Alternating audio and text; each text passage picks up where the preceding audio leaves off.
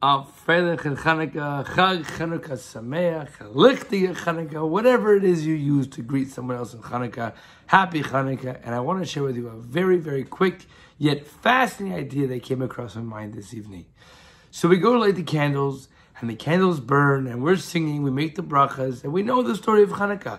There's a miracle of the oil, there's a miracle of the war. No chiddush, no, no, no novelty, no surprises over here. But yet, we say by just as they fought a war, just as Hashem did miracles for them in their days, so too we shall see the same thing in our days. We shall continue to fight the fight, and we shall continue to see the miracles that Hashem sent us our way. But maybe, just maybe, we're missing on how did the Jews, the Maccabees, actually fight the good fight. And the reason why I'm making this, this idea or connection is as follows. You look at a menorah. You look at the oil candles, oil with the floating wicks, wherever you have your menorah. Chanukiah, whatever it is. Just as the last flame dances or flickers on that wick, it actually burns a little bit brighter than it did the entire time it was lit.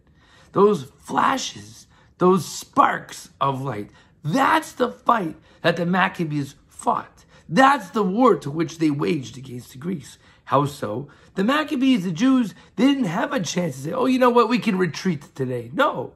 Their backs were up against the wall, day in, day out. It was a fight to the finish. It was like the World Cup finals with every penalty kick. It was now or never. If they don't do anything about it now, there's not going to be a tomorrow.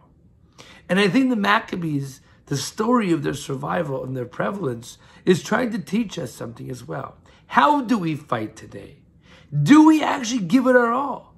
Do we say, yeah, maybe I'll do it tomorrow. I'll do it a little bit later. You know what? I, I put in 20% today. I'll do another 20% tomorrow. Maybe that's okay for some. But as a collective whole, how are we actually fighting the fight? And I think that's the message of Hanukkah. Bayamim hahem bazman hazeh. What is the message that we're going to take out? What's going to be our spark that we're going to flicker so bright against the backdrop of darkness? What is going to be our ray of light to the world? And with that, Chanukah Sameach.